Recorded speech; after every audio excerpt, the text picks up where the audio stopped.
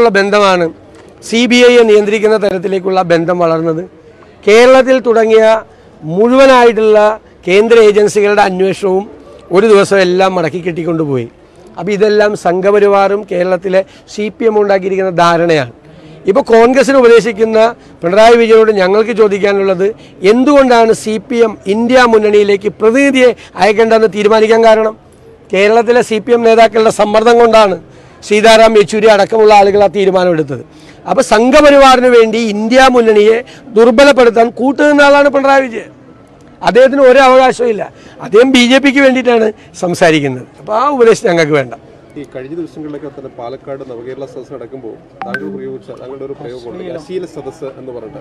അത് അങ്ങനെ പറയാൻ പ്രതിപക്ഷ നേതാവിന് എങ്ങനെ കഴിയുന്നു? ജനങ്ങളെ ആക്ഷേപിക്കുന്നതിന് തുല്യമല്ല എന്ന് പറഞ്ഞ് ആവർത്തിച്ച് ആവർത്തിച്ച് പറഞ്ഞു. അത് കേരളത്തിലെ ജനങ്ങൾ മുഴുവൻ പ്രതിസന്ധിയിലായിരിക്കുന്ന ഒരു കാലഘട്ടത്തിൽ.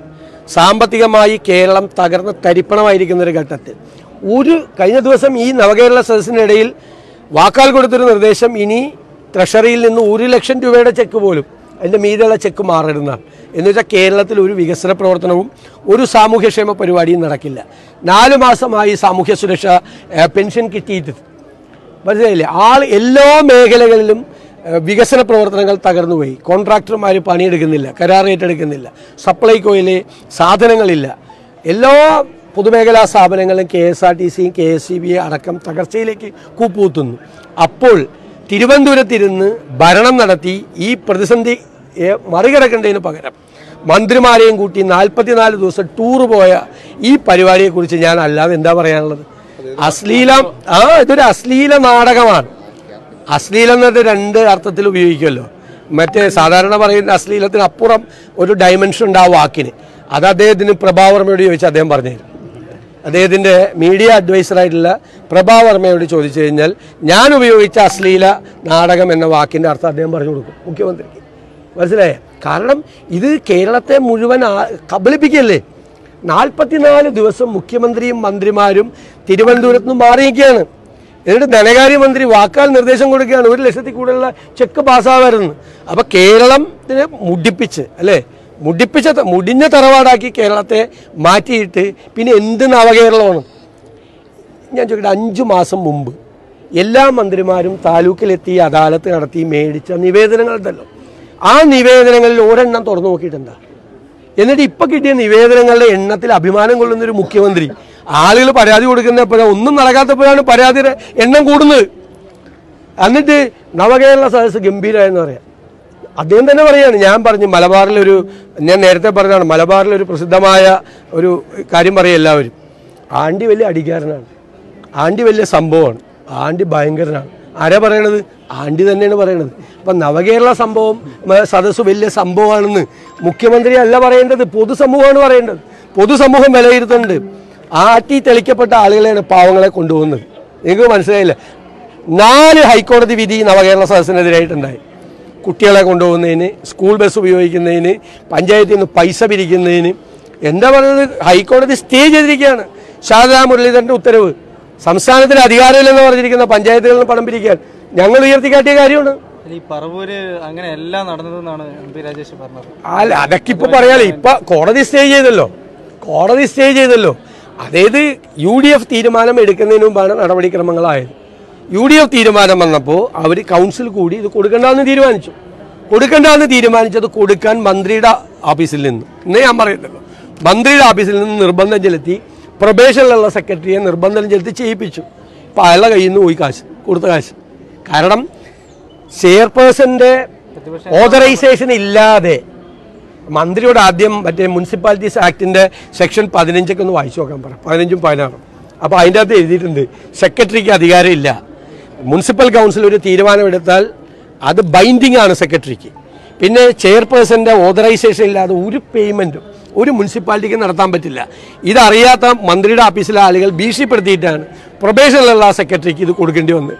ഇല്ല അദ്ദേഹം കൊടുക്കില്ല അദ്ദേഹം എന്നോട് പറഞ്ഞാണ് മന്ത്രിയുടെ ഓഫീസിൽ നിന്ന് ഭീഷണിപ്പെടുത്തിയിട്ടാണ് ഇത് കൊടുത്തത്. ഇല്ല കൊടുക്കേണ്ടി വരില്ലേ? ഇപ്പൊ രാജേഷ് എന്ത് പറഞ്ഞാലും ഹൈക്കോടതി സ്റ്റേ ചെയ്തു. ഞാൻ പറഞ്ഞ കാര്യം അതായത് മുനിസിപ്പൽ ആക്ട് അനുസരിച്ചിട്ട് സർക്കാരിന് ഈ പൈസ പിരിക്കാനുള്ള അധികാരമില്ല. മുനിസിപ്പൽ ചെയർപേഴ്സൺ അറിയാതെ പേയ്മെന്റ് നടത്താനുള്ള അധികാരം സെക്രട്ടറിക്ക് ഇല്ല എന്നുള്ള വാദം ഹൈക്കോടതി അംഗീകരിച്ച് അഡീഷണൽ ചീഫ് സെക്രട്ടറിയുടെ ഉത്തരവ് ഇദ്ദേഹത്തിന്റെ വകുപ്പ് സെക്രട്ടറി രാജേഷിന്റെ. ആ വകുപ്പ് സെക്രട്ടറിയുടെ ഉത്തരവ് ഹൈക്കോടതി സ്റ്റേ ചെയ്തിട്ട്. പിന്നെ ഞായറാഴ്ച വാദം പറഞ്ഞിട്ട് എന്താ കോടതി പിരിഞ്ഞിട്ട്. കോടതി പിരിഞ്ഞ് എന്നിട്ട് വാദം പറയണ രാജേഷ്. ഇതാണല്ലോ. നമ്മുടെ മഹാരാജാവ് എഴുന്നള്ളല്ലേ മഹാരാജാവ് എഴുന്നള്ളുമ്പോ മതിലുകൾ പൊളിഞ്ഞു വീഴും കെട്ടിടങ്ങൾ പൊളിഞ്ഞു വീഴും. ആളുകൾക്ക് ആ മഹാരാജാവ് എഴുന്നള്ളുന്നു എന്ന് പറഞ്ഞ് വലിയിൽ വന്ന് നിന്നിട്ട് പണ്ട് അങ്ങനെയായിരുന്നു തിരു തിരുവിതാംകൂറിലൊക്കെ. തിരുവനന്തപുരത്തൊക്കെ രാജാവ് എഴുന്നള്ളുമ്പോൾ ഇങ്ങനെ വന്ന് എന്ന് വരിയിൽ നിന്ന്. ഇപ്പൊ പിള്ളേരാണ് നിർത്തിയത്. ഇവരെ കണ്ടിട്ടുള്ള ആവേശം കൊണ്ട് പിള്ളേർ വന്നാണെന്നാണ് പറയുന്നത്. കുട്ടികളെ കൊണ്ട് വെയിലത്ത് നിർത്തിയിട്ട് അതിന് കിട്ടിയല്ല കോടതിയിൽ നിന്നും സുവോളജി പാർക്കിൽ കൊണ്ടുപോയി പരിപാടി നടത്താൻ പോയി അതിനും കിട്ടിയല്ല കോടതിയിൽ നിന്നും നാല് കേരളത്തിൽ ഏതെങ്കിലും ഒരു പൊളിറ്റിക്കൽ പരിപാടി ഇതുപോലെ നടത്തിയിട്ട് ഹൈക്കോടതി ഇടപെട്ട് ഇതുപോലെ നാല് ഉത്തരവുണ്ട്. നാല് ഉത്തരവ്. എവിടെ?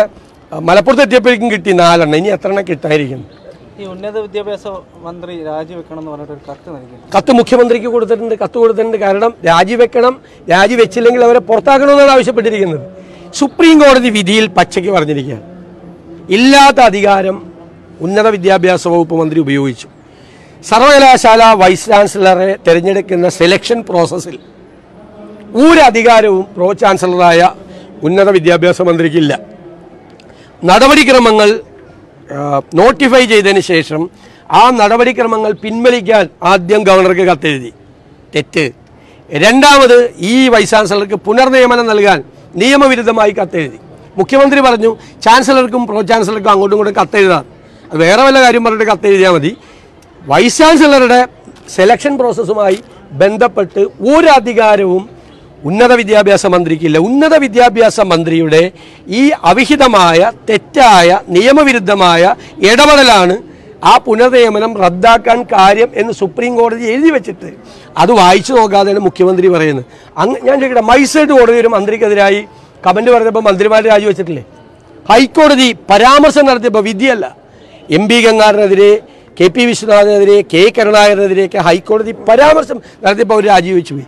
ഇന്ത്യയിലെ ഏറ്റവും സുപ്രധാനമായ നീതിന്യായ പീഠം ഉന്നത വിദ്യാഭ്യാസ മന്ത്രി നിയമവിരുദ്ധമായി കാര്യത്തിൽ ഇടപെട്ടു. അതുകൊണ്ടൊരു വൈസ് ചാൻസലറുടെ പുനർനിയമനം റദ്ദാക്കുന്നു എന്ന് പറഞ്ഞിട്ട് ആ മന്ത്രി രാജിവെച്ചില്ലെങ്കിൽ ഈ മുഖ്യമന്ത്രി പുറത്താക്കണം. ആക്കൂലെന്ന് എനിക്കറിയാം. കാരണം ഒന്നാം പ്രതി അദ്ദേഹമാണ്. ഗവർണറുടെ വീട്ടിൽ പോയി കണ്ട് ഇത് എന്റെ ജില്ലയിലെ വൈസ് ചാൻസലറാണ് നിയമിക്കണം എന്ന് പറഞ്ഞ് ഈ മന്ത്രിയെ കൊണ്ട് എല്ലാ കത്തും എഴുതിപ്പിച്ച് ഇയാളെ കൊണ്ട് അത് ചെയ്യാൻ പാടില്ല.